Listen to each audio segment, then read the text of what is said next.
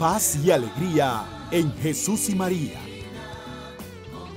Liturgia de la Palabra de la Eucaristía Dominical. Desde la Ciudadela Jesús y María. Preside el Padre Teófilo Rodríguez. Oremos. Te pedimos, Señor, que tu gracia continuamente nos disponga y nos acompañe, de manera que estemos siempre dispuestos a obrar el bien por nuestro Señor Jesucristo, tu Hijo, Padre amado, que vive y reina contigo en la unidad del Espíritu Santo y es Dios por los siglos de los siglos.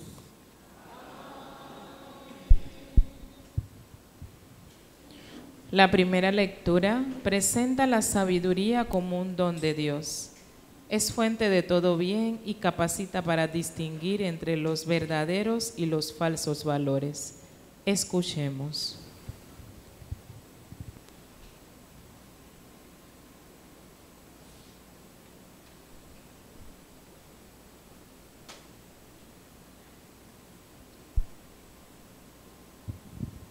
Del libro de la sabiduría. Supliqué y se me concedió la prudencia. Invoqué y vino sobre mí el espíritu de sabiduría. La preferí a los cetros y a los tronos, y en comparación con ella tuve en nada la riqueza. No se puede comparar con la piedra más preciosa, porque todo el oro junto a ella es un poco de arena y la plata es como lodo en su presencia.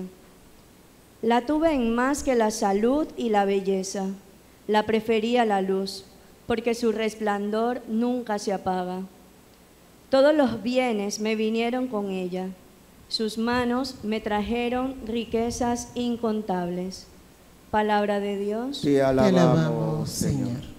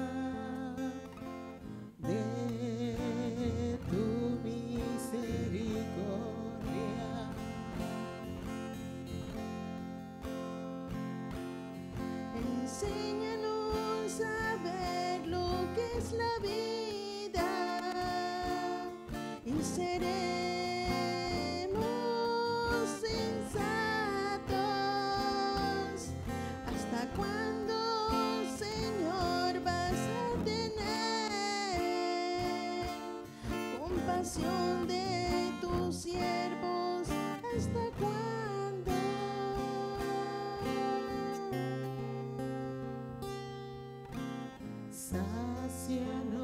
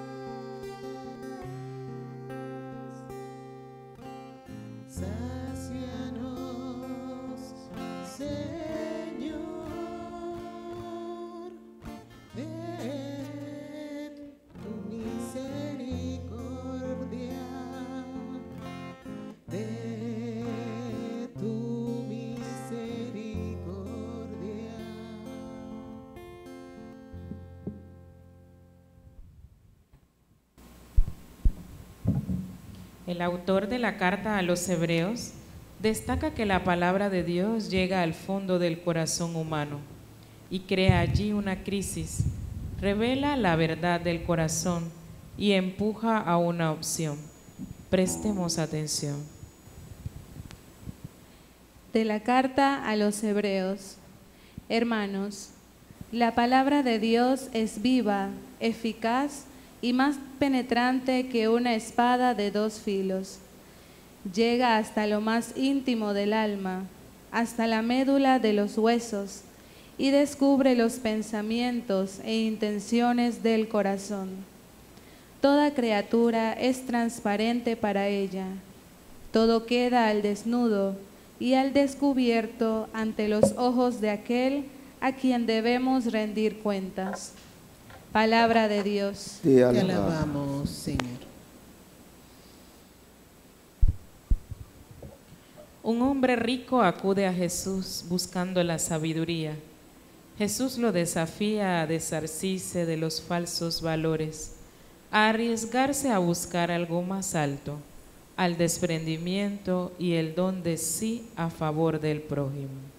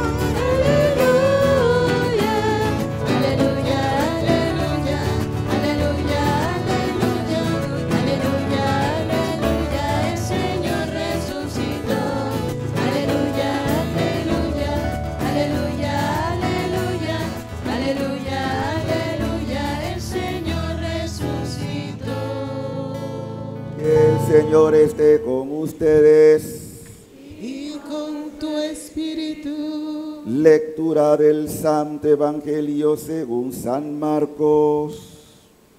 Gloria a ti, Señor.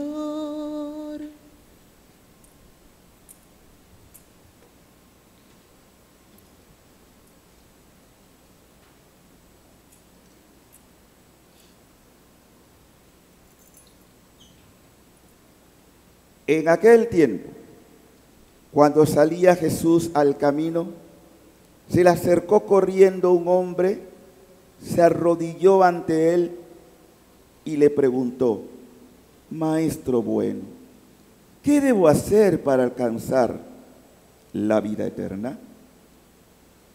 Jesús le contestó, ¿por qué me llamas bueno? Nadie es bueno sino solo Dios. Ya sabes los mandamientos. No matarás, no cometerás adulterio, no robarás, no levantarás falso testimonio, no cometerás fraude, honrarás a tu padre y a tu madre. Entonces él le contestó, maestro, todo eso lo he cumplido desde muy joven. Jesús lo miró con amor y le dijo, solo una cosa te falta. Ve y vende lo que tienes. Da el dinero a los pobres y así tendrás un tesoro en los cielos. Después, ven y sígueme. Pero al oír estas palabras, el hombre se entristeció y se fue apesadumbrado, porque tenía muchos bienes. Jesús, mirando a su alrededor, dijo entonces a sus discípulos, qué difícil le va a ser a los ricos entrar en el reino de Dios. Los discípulos quedaron sorprendidos ante estas palabras. Pero Jesús insistió, hijitos, Qué difícil es para los que confían en la riqueza entrar en el reino de Dios. Más fácil es a un camello pasar por el ojo de una aguja que a un rico entrar en el reino de Dios. Ellos se asombraron todavía más y comentaban entre sí. Entonces, ¿quién puede salvarse? Jesús mirando fijamente les dijo, es imposible para los hombres, mas no para Dios. Para Dios todo es posible. Entonces Pedro le dijo a Jesús, Señor, ya ves que nosotros lo hemos dejado todo para seguirte.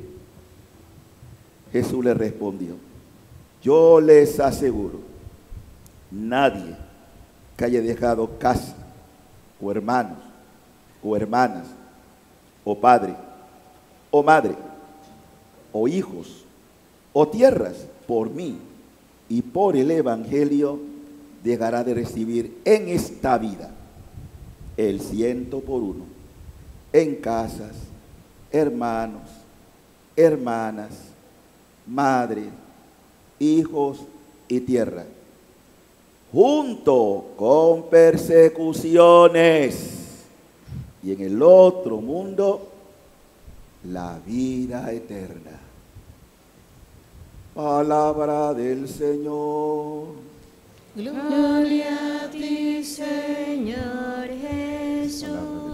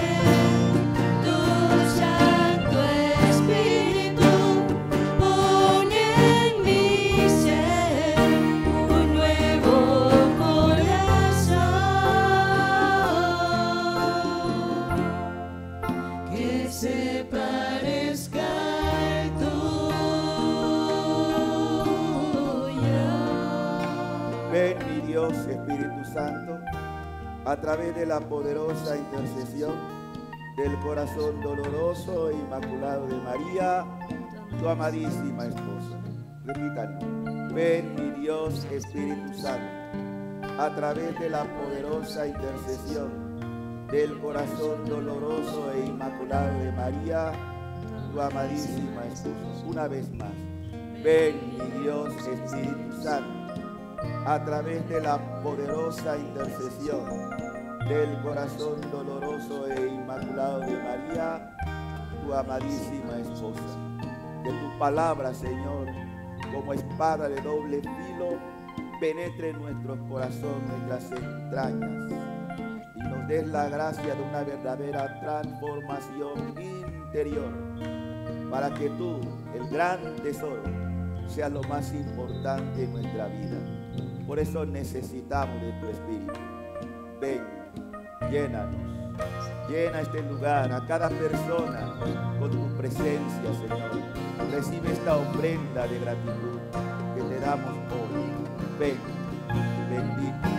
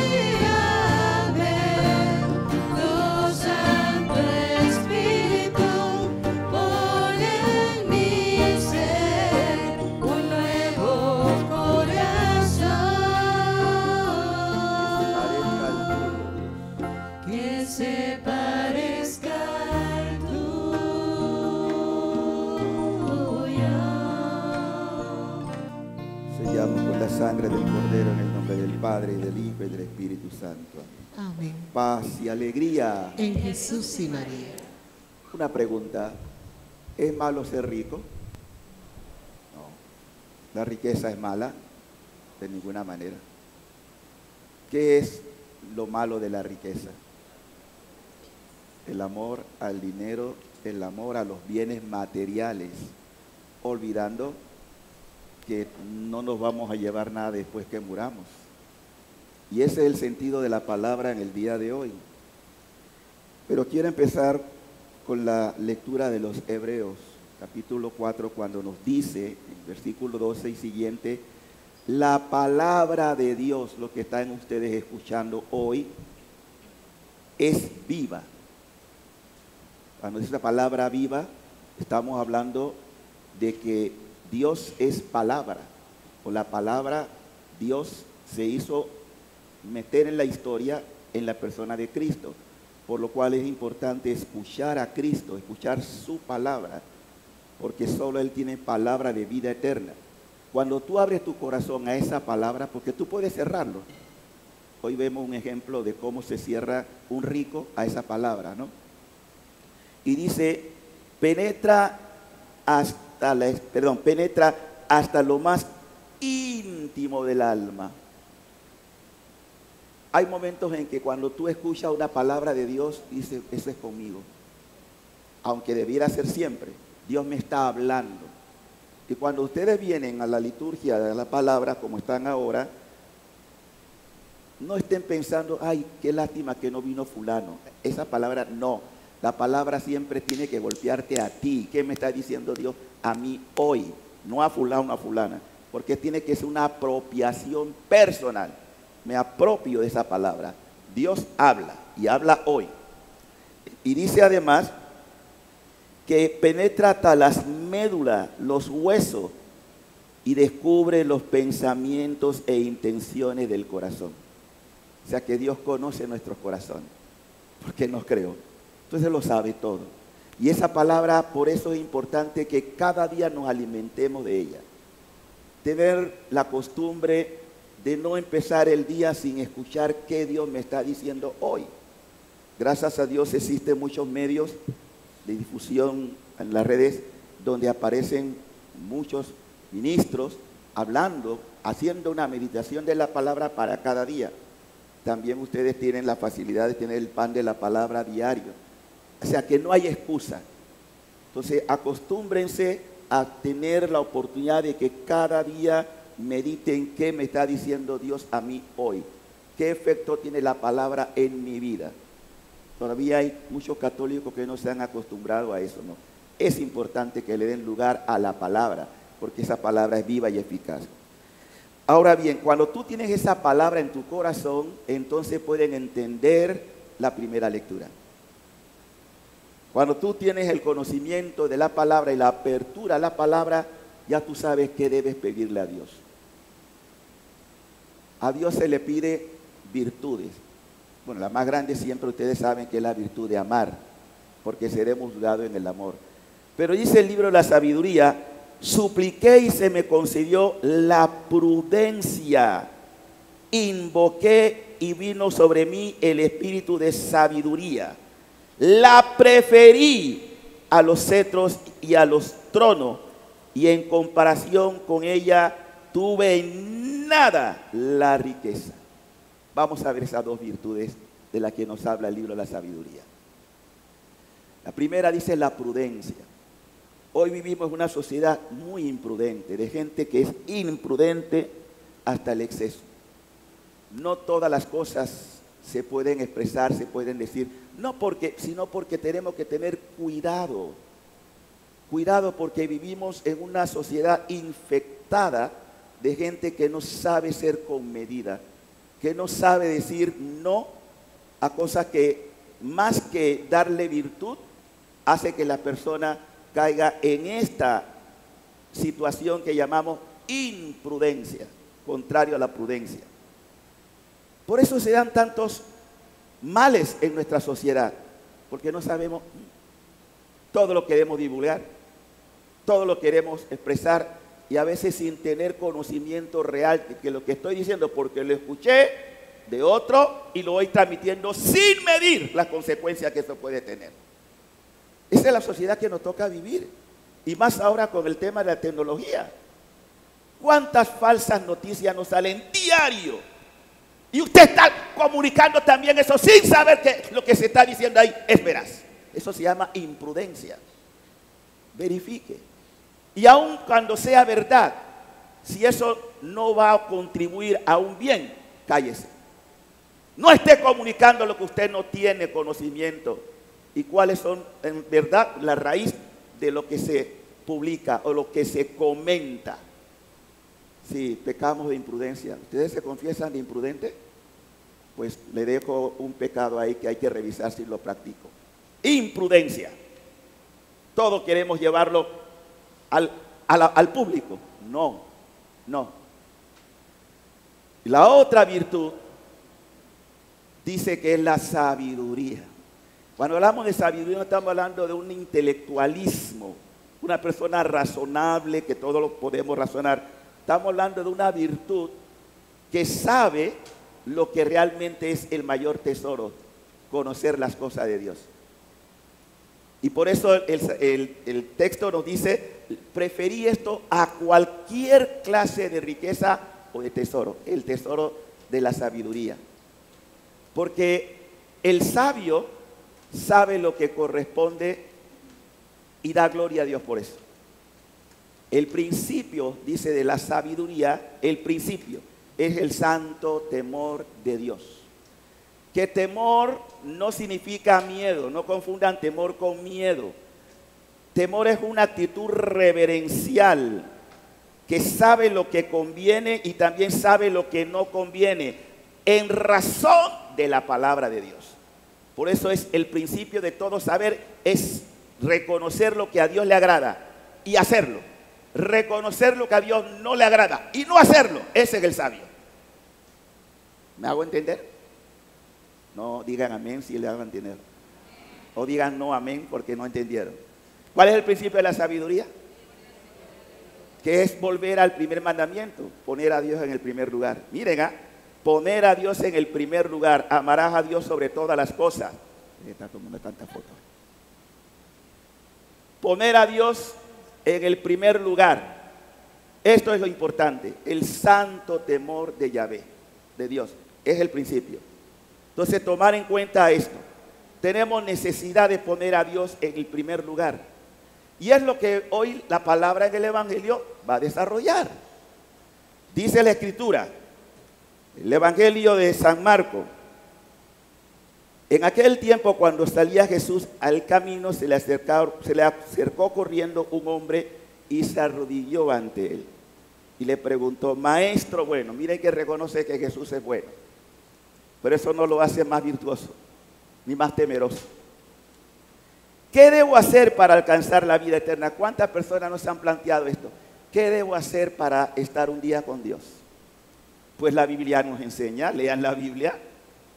La Biblia nos enseña en primer lugar obedecer los mandamientos de Dios. Haz los mandamientos, cumple los mandamientos de Dios. Ponga a Dios en el primer lugar.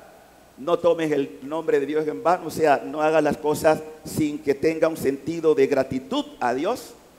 Santifica la fiesta. Ustedes en este día, cuando vienen a misa, están cumpliendo ese mandamiento. No vengo a la misa por obligación, lo he dicho cientos de veces.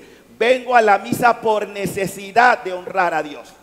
Y aquí nadie me decir, ay, qué, qué pereza ir a la misa. No, me nace del corazón darle a Dios gratitud, bendición, alabanza. Entiéndanlo. A la misa no se viene por obligación, se viene porque necesito agradar a Dios y darle gracias por la vida. Eso debe entenderlo todo. Y las iglesias debían estar todas llenas si la gente entendiera esto. Que Él merece lo mejor. Una alabanza, una gratitud, una bendición. Y sigue el texto entonces diciendo lo siguiente. ¿Qué debo hacer? Pues para ir o entrar en la vida eterna. Jesús le pregunta, ¿por qué tú me llamas bueno? También el Señor te puede hacer la pregunta a ti, porque cuando estamos interactuando con la palabra, ¿por qué yo reconozco que Dios es bueno, que Jesús es bueno? Quizás había algo que él no conocía. Y lo que no conocía es que Dios no solamente es bueno, es misericordioso. Que quiere que todas las personas tengan la oportunidad de ser misericordiados. Cuando tú has sido misericordiado por Dios, entonces tú te conviertes en una persona misericordiosa. Es decir, así como Dios te da, tú también tienes que dar. Tú también tienes que desprenderte como Dios se desprendió del cielo, bajó a nosotros para darnos su riqueza. Y al conocerlo a Él, por esa palabra que penetra mi ser, yo me comporto con los mismos sentimientos de Dios, o debería comportarme con los mismos sentimientos de Dios. Entonces Jesús le pone un examen sencillo. Dice la palabra, pues ya tú sabes los mandamientos. Si tú cumples los mandamientos, tú vas a entender que Dios espera, que Dios quiere. Y después tú me sigues. Y le hace el examen. Sencillamente, bueno, no mates, no cometas adulterio, no seas infiel, no robes, no tomes los bienes ajenos. Todo eso le está diciendo Jesús. No mates, no mates. Yo no tengo derecho sobre la vida de nadie. Por más grande que sea mi enemigo, yo no tengo razón porque no se muere. Mátalo, Señor. Dale un cáncer para que se vaya de esta vida. No desear la muerte a nadie. Lo que yo no quiero para mí, tampoco lo quiero para el otro. Ese es amor, eso es misericordia. Y le sigue diciendo Jesús, no, bueno, no levante falso testimonio. Cuidadito que esto también es un pecado graso en nuestro tiempo. Falso testimonio. Las calumnias que se suelen levantar contra el otro, contra el prójimo, va contra los derechos de Dios, o sea, los mandamientos. No levantes falso testimonio. No cometas fraude. Ay, Dios mío, la corrupción que está a la orden del día en todos los aspectos. ¿ah? No solamente en el ámbito político, también en el ámbito financiero, comercial. Parece que lo propio es ser corrupto. Dice, qué bien hizo el trabajo, qué bien supo robar. ¿Sí? No importa que robe después que haga. Justificamos el pecado. Robó pero hizo tal cosa. Puede ser. Eso va contra la palabra de Dios. Tenemos que ser fieles a la palabra. Y eso se llama corrupción. Estamos en una sociedad enferma de corrupción. No solamente en los altos niveles, ¿ah? también en los, actos, en los bajos niveles. Cuando tú, por ejemplo, sabes que de pronto te dieron más de la cuenta que tú tenías o que tú incluso sabes que te dieron en el vuelto, por decirlo de una manera, algo que, pa- que pasa lo que realmente te correspondía. Y tú sabiéndolo, te lo guardas. Ah, que a él, a él no le hace falta. Eso es corrupción también. A veces hablamos de la corrupción en gran medida, en gran tamaño, pero no en la corrupción de los días, del día a día. Esas también son actos de corrupción. Y recuerden que las cosas empiezan siempre pequeñas. El que desde pequeño va viendo cosas que lo llevan a la corrupción, viéndolo en, papá y mamá, no tengan duda que va a crecer también así. Porque eso es lo que aprendió. Que eso es normal, que eso, eso es ser vivo, por decirlo de esta manera. Miren, no hay nada que no vamos a confrontar con Dios el día que muramos. Todo, todo. Ahora bien, por eso decía que el Señor lo que quiere es que seamos misericordiados, aceptando que me equivoqué, que pido perdón, que quiero enmendar mi vida, porque Dios viene para todo. Y luego dice, después que tú hagas eso, que tú cumplas los mandamientos, entonces ven y sígueme. ¿Cómo termina la historia? ¿Cómo termina? ¿Cómo se fue? Yo pensé que esto era más fácil. Me voy. ¿Cuánta gente se ha ido de la iglesia cuando han escuchado algo que va contra sus principios? Sus principios, no los principios de Dios. Y dice, ah, no, esto no, yo no vengo más. No, eso es muy duro. Eso es muy difícil. Entonces Jesús, viendo esto, porque él- dice el, texto que el hombre tenía mucho dinero. Hemos dicho que el dinero no es malo. No es malo tener propiedades, no es malo tener bienes materiales.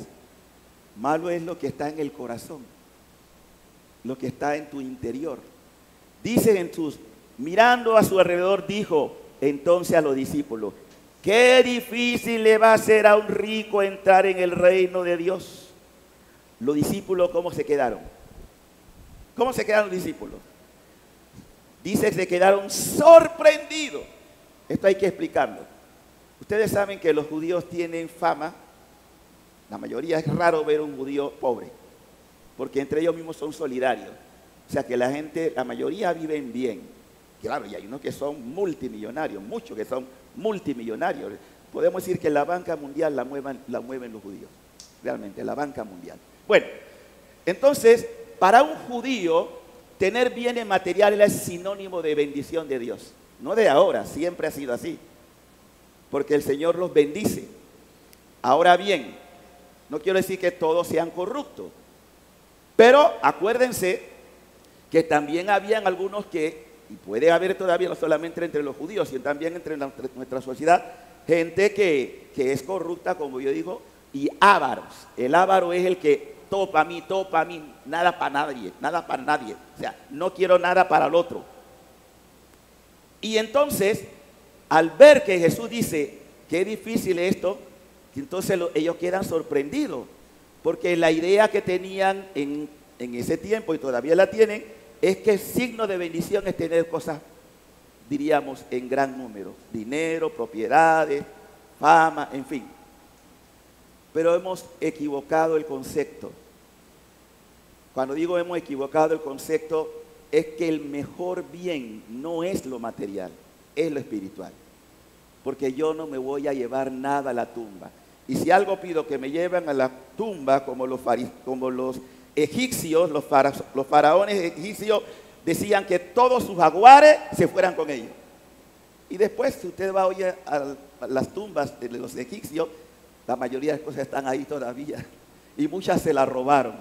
¿Sí? Así que de nada me sirve, no se pudieron llevar nada material. No me voy a llevar nada. Ni los zapatos, ni la media, nada. Todo se va a podrir. Todo se va a acabar. Entonces la verdadera riqueza es ser generoso. Es de lo que Dios me ha dado, yo voy a compartir.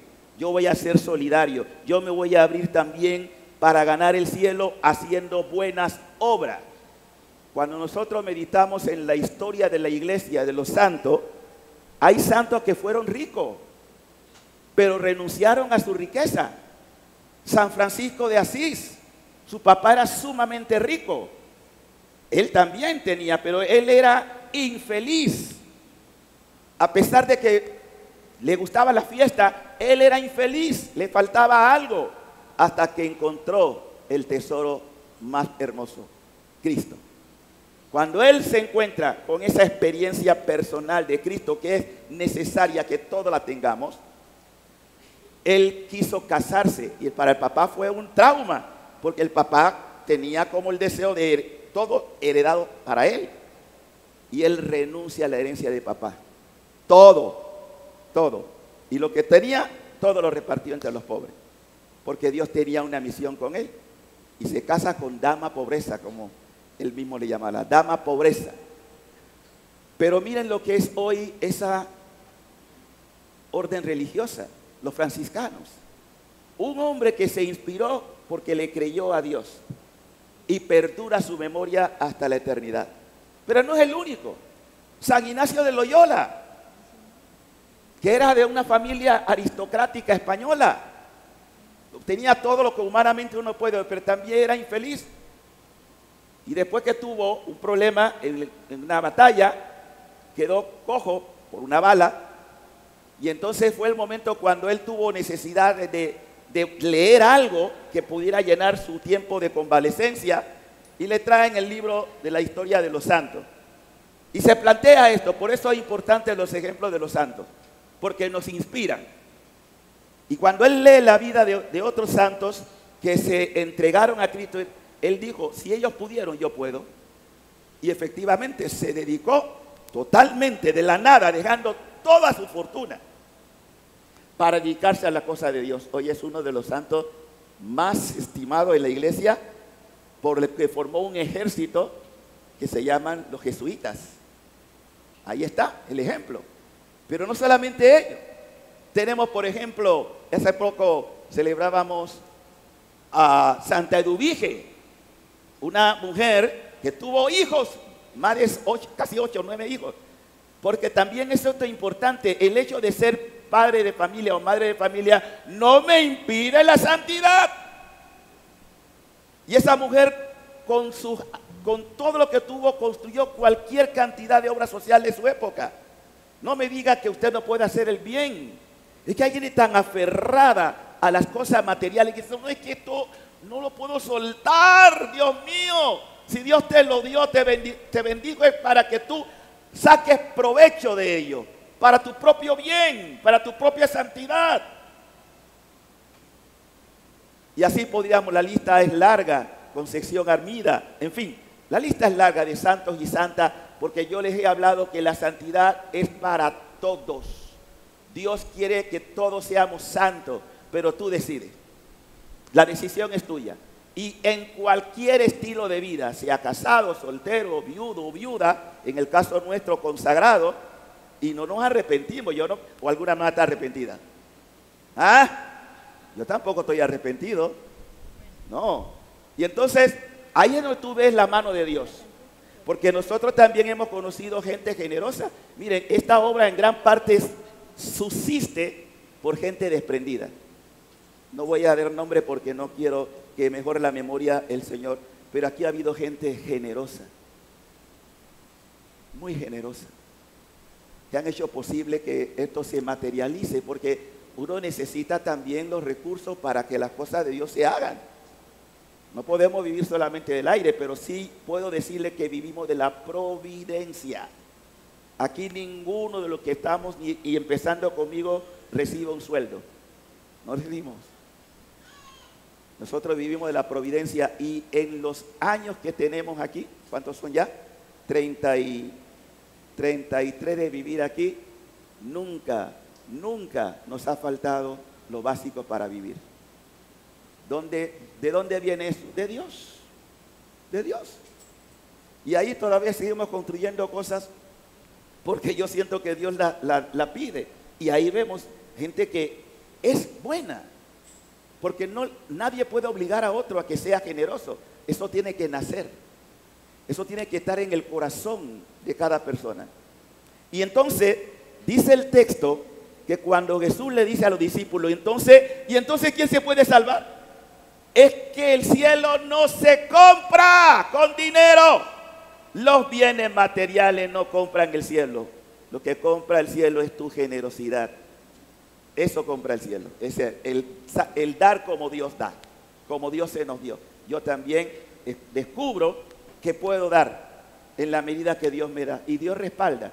Incluso cuando tú eres generoso, Dios bendice al dador que da con alegría. Lo bendice más todavía. Repítanlo conmigo. Dios bendice al que da con alegría. Porque si va a dar con, esto me duele mucho, pero está bien pues. No, cuando uno da, incluso dice Madre Teresa que hay que dar hasta que duela, que tú sientas que te está desprendiendo, pero por generosidad. Claro que sí. Y cada uno según su posibilidad, porque tampoco se trata de que el Señor te invita, salvo que sea una vida consagrada, como ya expliqué, de estos santos que dijeron no quiero nada, de nada, nada, nada. Ese ya es un extremo, una forma. Pero si ustedes tienen responsabilidades, tu primera responsabilidad es tu familia. Tu esposo, tu esposa, tus hijos. Y cada uno allí según su realidad que le toca vivir. Y entonces dice la palabra, ellos otra vez se sienten porque el Señor le dice, dice que es más fácil que un camello entre por el agujero de una aguja, sea, de una aguja que un rico entre al cielo. No dice que sea imposible, ¿ah? dice el Señor que es más fácil, entonces cuando tú miras la proporción, que un camello pase por el ojo de una aguja, pero también se habla de aguja porque todavía en Israel había unas puertas muy pequeñas. Incluso cuando usted va a Tierra Santa, en Belén, cuando usted entra a la puerta, tiene que agachar la cabeza así. Sí, porque una puerta bien angosta, entonces tiene que bajarse, ¿no? O sea, es una especie de aguja. Tienes que bajarte, tienes que anonadarte para poder entrar a esa iglesia. Aunque eso tiene otra connotación histórica, pero no, no tengo tiempo para explicarlo. Pero aquí viene lo siguiente. Entonces Pedro le dijo, Señor, acuérdense que Pedro era casado, ¿no? Nosotros lo hemos dejado todo para seguirte. Como dicen, ¿y entonces qué nos va a tocar? ¿Qué hay para mí? Jesús, ¿qué hay para nosotros? ¿Qué hay para mí? Lo hemos dejado todo. Y el Señor le dice, muchachos, Jesús le respondió, yo les aseguro, nadie que haya dejado su casa, hermanos, hermana, padre, madre, hijos o tierra, por mí y por el Evangelio, o sea, por la palabra de Dios, por Cristo y por el Evangelio, dice, recibirá en esta vida, no dice después, todavía ya en esta vida, el ciento por uno. A ver, aquí hay hermanas, todas, todos hemos venido de ambiente pobre, todos. Pero cuando tú comparas lo que Dios nos ha dado, tú dices, Señor, yo no tengo más que agradecerte. Yo no tengo más que agradecerte el que me hayas duplicado lo que tenía. Y pongo un caso. La hermana Rosario aquí que está al lado mío, Rosario del Divino, hace poco murió su mamá. Ella era la única hermana, o sea, la única mujer, dos hermanos. ¿Cuántas hermanas tiene ahora Rosario? Muchas hermanas, ahí están. Y aquí se cumple la palabra. Ella era la única mujer. Ahora miren cuántas hermanas tiene. Y vienen más todavía. Lo dice el Señor. Tendrán más. Y el que haya dejado, yo, pues, tengo mis familias, mis hermanos todavía viven, gracias a Dios, mamá todavía está allí. Pero es como la canción que dice, muchos hijos tiene el padre Abraham. El padre Abraham tiene muchos hijos. Yo soy uno, tú también. Alabemos. Cuando yo he recibido todos esos saludos de, cumpleaños, miren, ustedes no tienen idea de cu- cuántos hijos me has dado. ¿Ah? ¿Cuántos hijos e hijas? Incluso algunos que pueden ser mis abuelas. Pero son hijos que Dios me ha dado. En todas partes, ¿ah? Es impresionante la cantidad de lugares, países para saludar y padre, no sé qué. Que lo que, yo agradezco eso, pero es el fruto de lo que tú has sembrado. Cuando tú siembras, cosechas. Y cuando tú te entregas al Señor, tú ves los beneficios, no solamente para ti, sino para las almas que han sido bendecidas a través del Señor usándote a ti de instrumento. Esa ha sido mi experiencia. Y de verdad, yo le agradezco a Dios esa generosidad que me ha permitido trabajar y que soy favorecido no porque lucro de esto, y ustedes lo saben, yo no lucro del Evangelio, no lucro, pero me he visto bendecido el ciento por uno, por eso creo lo que Jesús está diciendo. Nadie que haya llegado, hermano, hermana, recibirá en esta vida, ya aquí en esta vida, el ciento por uno, y yo lo creo, y digo amén, porque yo lo creo y lo he vivido, lo veo, veo que esto es verdad, no es mentira. Y termina diciendo Jesús, ahora bien, todos estos hijos, tierra, junto, junto con qué? Y también ahí puedo decir que eso es verdad. Amén. No crean que esto es, eh, no, no, no, no, no, no. Las cosas que me han tocado vivir, los ataques recibidos, entonces por eso digo, eso también es cierto. Jesús nunca dijo que seguirlo a él iba a ser fácil. Por eso que hay mucho, miren, ayer estaba hablando con un sacerdote que me decía, en una provincia, no quiero decir, aquí de Panamá, han salido en los, ah, en los próximos 10 años para más de nueve sacerdotes, la mayoría jóvenes. Es una crisis que está dándose, tiene, no sé cómo le llaman, una especie de... Él me explicaba, el padre me decía esto ayer, es un, un síndrome que tienen los curas jóvenes porque empiezan con mucho entusiasmo, piensan que van a cambiar el mundo, pero entonces se dan cuenta que van surgiendo adversidades y al final abandonan el sacerdocio. Y eso duele, porque tenemos una iglesia en crisis, hacen falta pastores. Y pareciera que el gran triunfo del demonio es quitar la mayor cantidad de sacerdotes. Aquí tenemos limitación aquí en Colombia, en esta diócesis. Estamos cortos.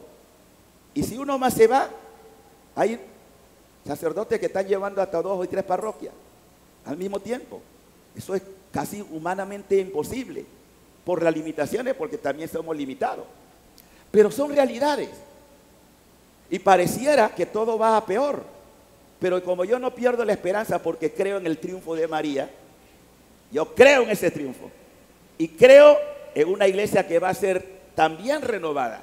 Y que al final, como Nuestra Señora lo ha dicho, ella lo dijo, al final mi inmaculado corazón triunfará y al mundo se le va a conceder una era nueva de paz, de bendición y de muchas vocaciones santas. Pero hoy, seguir a Cristo, no piensen que es fácil. A mí me ha tocado llorar muchas veces, muchas veces, por los ataques, por las calumnias. No ha sido fácil. Pero es que también lo dice la palabra y no me estoy quejando, al contrario, estoy siendo realista. Jesús me dijo, hey, esto tiene precio. Con persecuciones. Pero después las persecuciones no son eternas. ¿Cómo termina el texto? Y, el, y en la otra vida, la vida eterna. Ya, donde ya no hay dolor, donde ya no hay enfermedad. Gracias Señor por cada lágrima derramada. Gracias por cada momento de persecución, de calumnia, de ataque. Gracias Señor. Solo te pido, y es lo único que le pido, el único regalo, el único regalo que he pedido y lo sigo pidiendo. Quiero ser santo. Y estoy decidido a hacerlo. Ay, qué presumido el Padre Teófilo, pero esa es la verdad. No, es verdad. Yo no tengo otra pretensión más que ser santo, porque le creo a Dios. Y creo que Dios me llamó para esto. Nunca, nunca, en estos 43 años, nunca ha estado en mi mente, me equivoqué de vocación me voy para otra cosa. Jamás. Y como lo dijo, ya termino con esto, perdone el aburrimiento. Cuando más viejo me hago, más enamorado estoy de Jesús. Más enamorado. Me tiene loco. Por eso ustedes ven que actúo como un loco. Porque estoy locamente enamorado, ¿qué puedo decir? Cuando uno está enamorado, eso no se puede evitar. ¿O no se nota? Ya yo no quiero otro amor, pues a él yo me he entregado. Que mi amado es para mí. Yo soy para mi amado. Y yo soy para mi amado.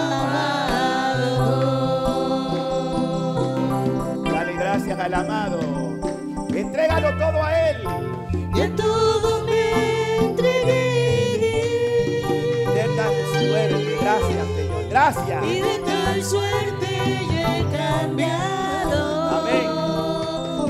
Mi amado, mi amado. Que mi amado es para mí.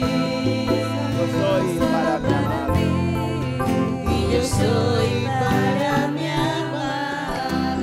palabra de Dios es como una flecha, una espada que toca Como una flecha. y desbarata. Toda llena de Y amor. entonces el alma queda cogida por el amor. Que mi alma quedó hecha. Una con mi creador. Uno. Una con su creador. Ya yo no no sea de Cristo.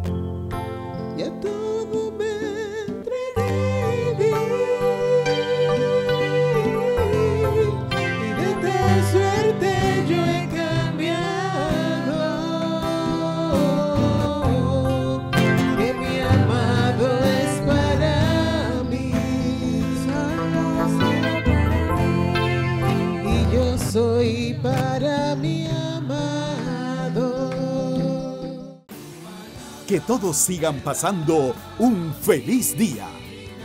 Bendiciones.